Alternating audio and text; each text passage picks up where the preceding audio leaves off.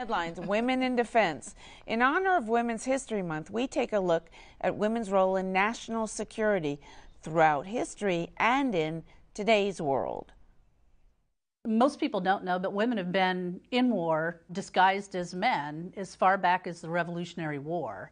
And it shows the role of women fighting side by side their male counterparts throughout history. And when they weren't fighting with the males. They were there as the Army Nurse Corps, um, helping them in the battlefield. So women have been on the front lines for a, a lot longer than people um, are care to admit. The history of women in the military is highlighted by pioneers such as Deborah Sampson, one of the only women to fight in the Revolutionary War. She did so disguised as a man.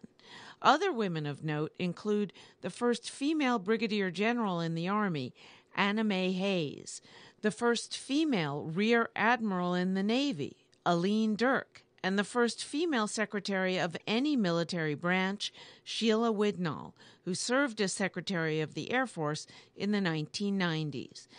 This covert and overt battlefield service, as well as female representation in the defense contracting industry, is what led several women to form Women in Defense. Tricia Ward is the organization's president. Women in Defense really started out 1979. It really was the brainchild of about seven really dynamic women. And, you know, these women got together and just said, you know, it, it, really would be of benefit, mutual benefit to everyone, not only the industry, to defense at large. It really would be of benefit for us to form our own uh, organization. We didn't even have a name at that point. Um, since then, it really has grown over the past 27 years.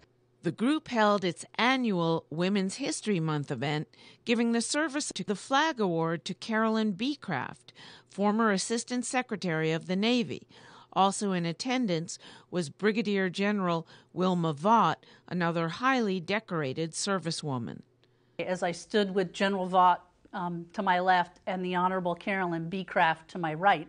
And hearing the stories that they talked about, um, Carolyn had said that when she was pregnant with her first child, she was asked to leave the Army. But that's the way it was in her day. I thank them both sincerely for paving the way for me specifically. I've had four children on active duty. Tricia Ward has done it all. The now retired Naval Senior Chief Ward works in support of the military with Booz Allen Hamilton.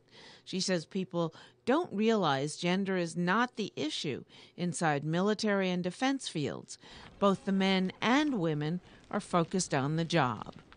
Now that I have a perspective from both sides, I think the difference is is what people from the outside make it such a huge difference.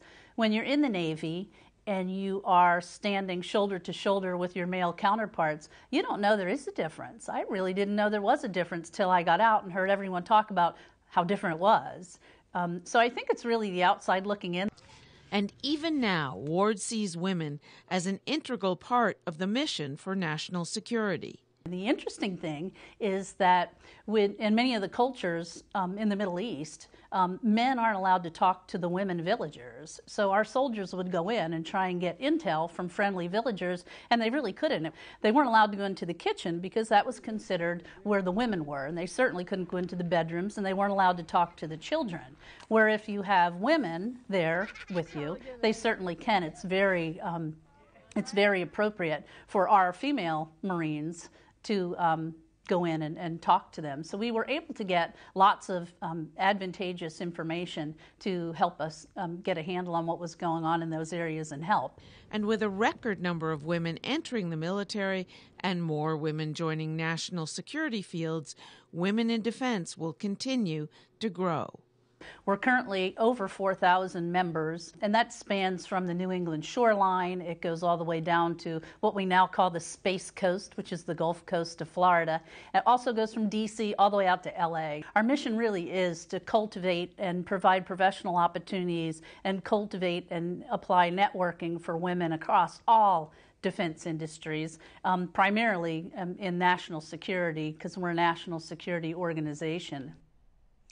I am just blown away, Genevieve, by the contrast between how much progress mm-hmm. women are making in defense contracting industries, running major companies, lots of them, Um, but then you hear about this documentary that's out, The Invisible War, how women at the bottom, at the lower ranks, are getting raped by their commanding officers. Uh, how is make sense of that for me, please. Well, I, I, think I don't think many people realize how many women are involved in our military and defense industry, if you will, whether it both be in the services themselves or actually the defense industry and, con- and contractors. Look, I, the documentary you, that you mentioned, I haven't actually seen it, but there have been some terrible things that have happened. There's no doubt about that. But I think we have to be very careful that we don't let that paint the entire military or defense industry as anti woman because it is not.